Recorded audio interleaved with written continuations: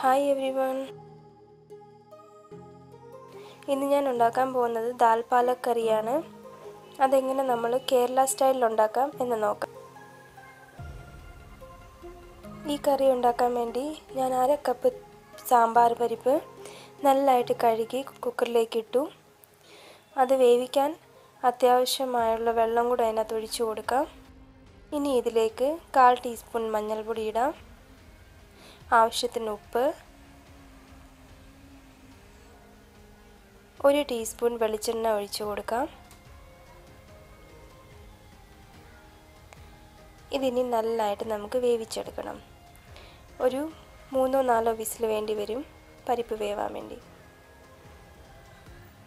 ആ സമയം കൊണ്ട് നമുക്ക് അര കപ്പ് തേങ്ങ ഒരു മിക്സി ജാറിലേക്ക് ഇടാം.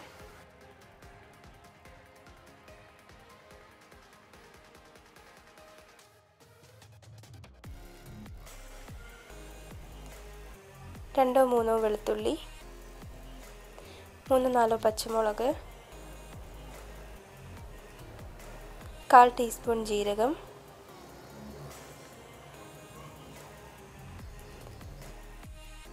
അരയ്ക്കാൻ ആവശ്യത്തിന് വെള്ളം കൂടെ ഒഴിച്ചു കൊടുക്കാം. കാൽ ടീസ്പൂൺ മഞ്ഞൾപ്പൊടിയും കൂടെ ഇട്ടിട്ട് നമുക്കിത് നല്ലതായിട്ട് അരച്ചെടുക്കണം. നമ്മുടെ പരിപ്പ് വെന്തോന്ന് നോക്കാം. പരിപ്പ് നല്ലതായിട്ട് വെന്തിട്ടുണ്ട്.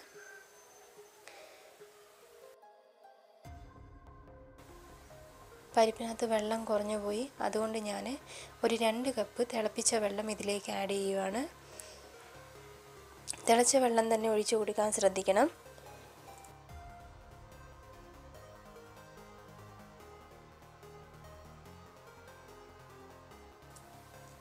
ഇത് ഞാൻ വേറെ ഒരു പാത്രത്തിലേക്ക് മാറ്റുകയാണ്.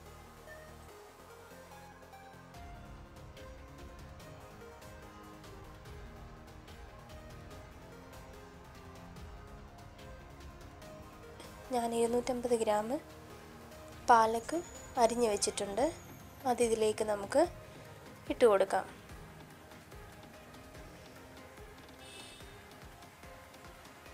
നല്ലതായിട്ട് മിക്സ് ചെയ്തിട്ട് പാലക്ക് വേവുന്നിടം വരെ നമുക്കിത് തിളപ്പിക്കാം.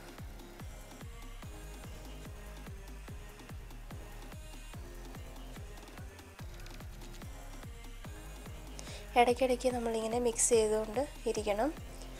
പിന്നെ പാലക്കൊരിക്കലും അധികം കുക്കായി പോവല്ല് അതിന്റെ ന്യൂട്രീഷൻസൊക്കെ എല്ലാം നഷ്ടപ്പെടും.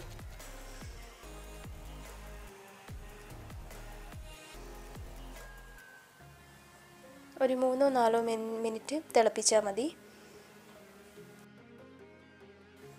അങ്ങനെ നമ്മുടെ പാലക്ക് വെന്ത് കഴിഞ്ഞു. ഇനി ഇതിലേക്ക് നമ്മൾ അരച്ച് വെച്ചേക്കുന്ന തേങ്ങ ചേർത്ത് കൊടുക്കാം. ഫ്ലെയിം ലോ ആയിരിക്കണം. ഇച്ചിരി വെള്ളം കൂടെ അതിനകത്ത് ഒഴിച്ചു കൊടുക്കാം. ഇനി നല്ലതായിട്ട് മിക്സ് ചെയ്തുകൊണ്ടിരിക്കണം. കറി ഒരിക്കലും തിളയ്ക്കാൻ പാടില്ല.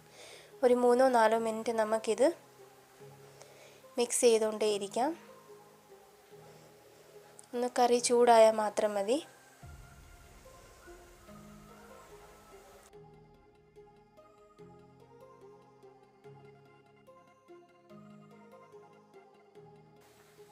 അങ്ങനെ നമ്മുടെ ദാൽ പാലക്കറി റെഡി ആയിട്ടുണ്ട്. ഇനി നമുക്ക് ഫ്ലെയിം ഓഫ് ചെയ്യാം. ആവശ്യത്തിന് ഉപ്പുണ്ടോ എന്ന് നോക്കുക. ഉപ്പില്ല എന്നുണ്ടെങ്കിൽ ഈ സമയത്ത് നമുക്ക് ആഡ് ചെയ്ത് കൊടുക്കാം. ഇനി നമുക്ക് കടുക് വറുത്തിടണം.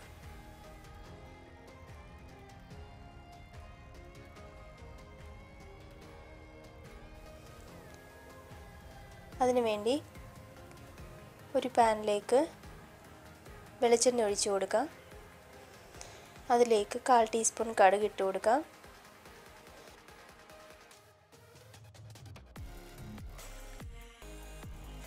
കടുക് പൊട്ടുമ്പോഴത്തേന് രണ്ട് പറ്റൽമുളക് ആഡ് ചെയ്ത് കൊടുക്കാം.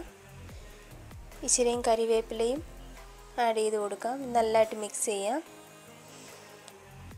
ഇതിനി നമ്മുടെ ദാൽ പാലക്കറിയിലേക്ക് ഒഴിച്ചു കൊടുക്കാം. അങ്ങനെ നമ്മുടെ ദാൽ പാലക്കറി റെഡിയായിട്ടുണ്ട് എല്ലാവരും ഇത് ട്രൈ ചെയ്ത് നോക്കണം. നല്ല ടേസ്റ്റി ആൻഡ് ഹെൽത്തി ആയിട്ടുള്ളൊരു കറിയാണ്.